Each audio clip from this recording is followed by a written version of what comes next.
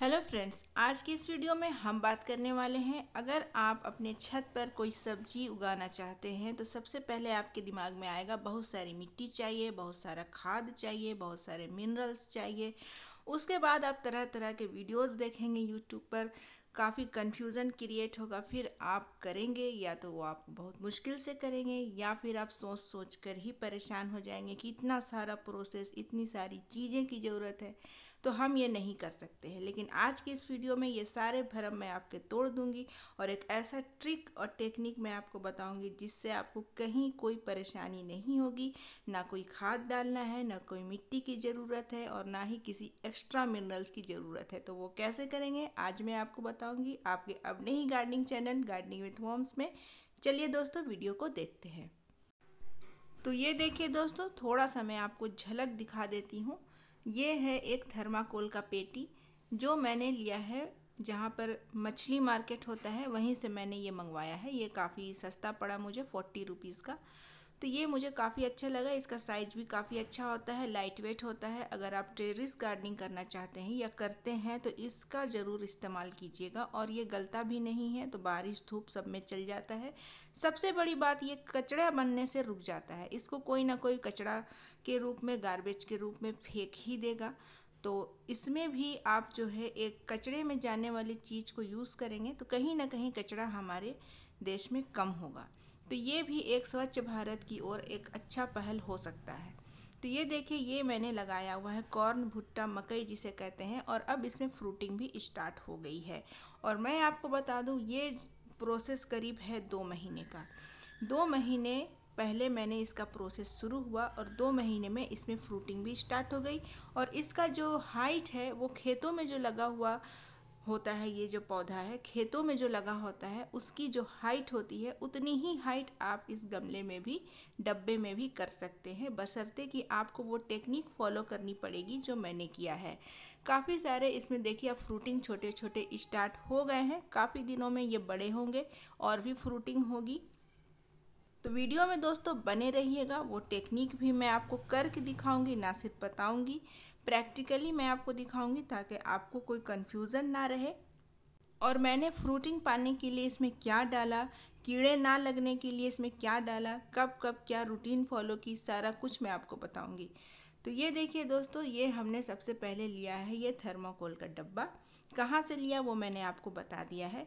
इसमें कुछ नहीं करना है, इसमें आपको सिंपली कुछ होल्स बना लेने हैं बेस में।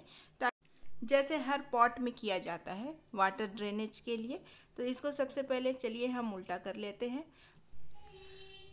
इस प्रकार से और इसमें होल्स बनाना काफ़ी इजी है, ये काफ़ी सॉफ्ट होता है, आपको तो पता ही है। किसी भी नुकीली चीज़ को हम लेंगे और इस तरीके से इसमें होल्स बना लेंगे। मैंने चाकू का इस्तेमाल किया है। आपको जो सही लगे, आप उसका इस्तेमाल कर सकते हैं। काफ़ी इजी है ये होल्स बनाना। कोई बच्चा भी इस तरीके से होल्स इसमें बना सकता है। तो झट झट मैंने पंद्रह से बीस होल्स बना लिए क्योंकि ये काफ़ी बड़ा है, जिसमें पंद्रह बीस होल्स होने ज़रूरी हैं। अब हम इसे सीधा कर लेते हैं। सीधा कर लेने के बाद आप देख पाएँगे कि होल्स हो गए हैं। उसके बाद इसे रखने का तरीका मैं आपको बता देती हूँ। इसका सरफेस आप देख पाएँ कि ये बिल्कुल प्लेन है। अगर हम इसे डायरेक्ट ज़मीन पर रख देंगे तो ड्रेनेज होल से जो हमने अभी बनाए हैं, उससे वाटर नहीं निकल पाएगा। तो तो उसके लिए सबसे पहले मैंने देखी ये दो ईंटें रखी हुई हैं और उसके ऊपर मैंने इसको रख दिया। अब वाटर जो है, आसानी से निकल पाएगा। तो ये ऐसे रखना है, जो गिरे नहीं, हिले डुले नहीं, अगर ज़्यादा ज़ोर से हवा चलती है तो। तो वो आपको कंफर्म कर लेना है। उसके बाद हमने लिया है किचन वेस्ट अगर आप मेरे पुराने व्यूवर्स हैं तो किचन वेस्ट कितना इम्पोर्टेंट है हमारे गार्डन के लिए तो वो आपको पता होगा। नए व्यूवर्स हैं तो धीरे धीरे आप जान जाएँगे। तो इस तरीके से कभी भी मैं कोई भी किचन वेस्ट एटलीस्ट की एक प्याज भी मैं काटती हूँ तो उसका भी जो छिलका होता है, वो मैं संभाल के रखती हूँ। अब उसको भी मैं यूज़ कर लेती हूँ अपने गार्डन में, अपने पौधों के ऊपर।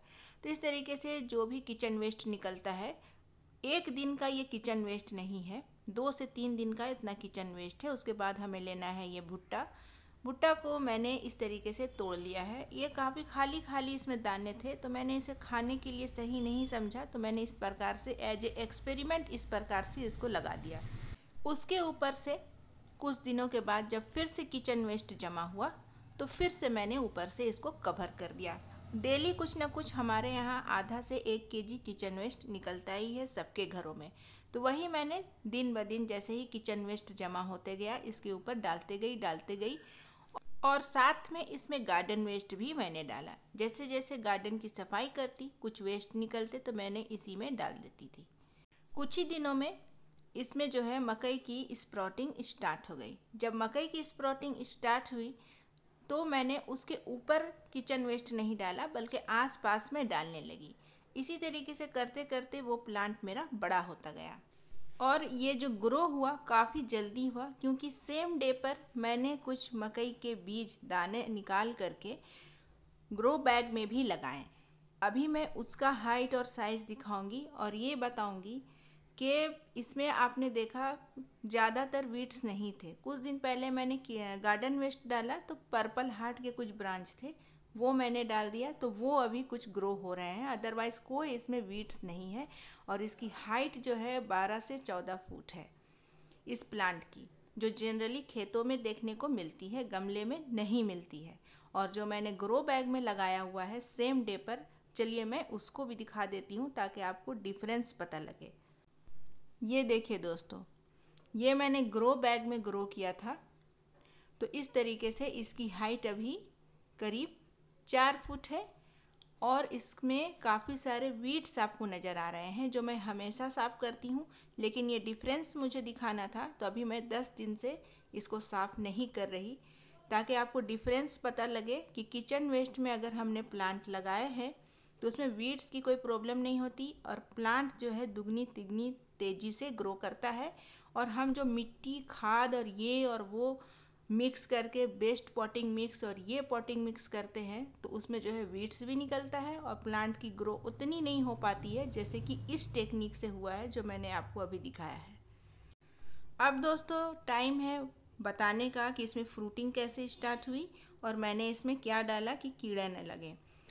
तो दोस्तों to be honest if I say अगर मैं ईमानदारी से कहूँ तो मैंने इसमें कुछ भी नहीं डाला है। ना कोई फंगीसाइड डाला है, ना कोई एनर्जी बूस्टर डाला है, ना कोई फ्रूटिंग होने के लिए कोई चीज़ डाली है।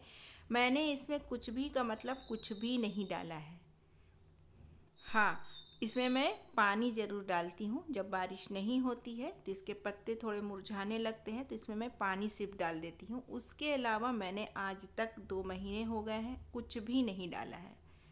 ना ही इसमें कोई कीड़े लगे हैं और ना ही इसमें कोई बदबू आती है और ग्रोथ में तो कोई इसका मुकाबला ही नहीं है। फ्रूटिंग भी अपने आप स्टार्ट हो गई क्योंकि मकई के पौधे को पता है कि उसे मकई बनाना है। तो उसके लिए आपको फोर्स करने के लिए ज़रूरत नहीं है, वो खुद ही वक्त आएगा तो प्रोड्यूस करेगा। न्यूट्रिशंस की कमी तो हो ही नहीं सकती है क्योंकि छिलकों से बेहतर न्यूट्रिशंस और किसी चीज़ में पाई ही नहीं जाती है। इसमें जितने भी प्रकार के फल और सब्ज़ी के छिलके हैं गार्डन वेस्ट है तो इससे अच्छा न्यूट्रिशंस पौधों को मिल ही नहीं सकती है। बेस्ट सोर्स आप कह सकते हैं न्यूट्रिशंस का पौधों के लिए। तो दोस्तों, ये आपको टेक्निक और ये तरीका मेरा कैसा लगा, मुझे कमेंट सेक्शन में आप ज़रूर बताइएगा। दोस्तों, मकई या भुट्टा या कॉर्न तो मैंने उगा करके आपको दिखा दिया। इसके अलावा अगर आप कोई और सब्ज़ी लगाना चाहते हैं तो कैसे लगाएँ? जैसे टमाटर लगाना चाहते हैं, उसके बीज मत डालिएगा, साबुत टमाटर डाल दीजिएगा। सेम लगाना चाहते हैं, बीन्स लगाना चाहते हैं, या कोई और सब्ज़ी लगाना चाहते हैं तो वो साबुत ही डाल दीजिएगा तो वो स्प्रॉटिंग हो जाएगा, उसके सीड्स मत डालिएगा, बस यही करना है आपको। और उसको कोई ड्राई करने की ज़रूरत नहीं है, जिस दिन आपके यहाँ सब्ज़ी आई, उसी दिन आप डाल सकते हैं, ताज़ी सब्जियों से भी स्प्रॉटिंग हो जाती है। तो दोस्तों, नियम के अनुसार अब वक्त है सवाल पूछने का। तो आज का मेरा सवाल है कि मैंने अपने प्लांट की हाइट कितनी बताई है? और वो वीडियो के अंदर मैंने बताया है तो वीडियो ध्यान से देखिएगा। और जवाब मेरे कमेंट सेक्शन में दीजिएगा, ताकि अगले वीडियो में अगर आपके जवाब सही हुए तो मैं आपके नाम विद कमेंट हाईलाइट कर सकूँ, जो डे आफ्टर टुमारो आएगी। जवाब के अलावा प्लांट्स रिलेटेड अगर आपकी कोई प्रॉब्लम है तो बेहिचक कमेंट सेक्शन के थ्रू मुझसे कॉन्टैक्ट कर सकते हैं, मैं हर एक कमेंट का रिप्लाई करती हूँ।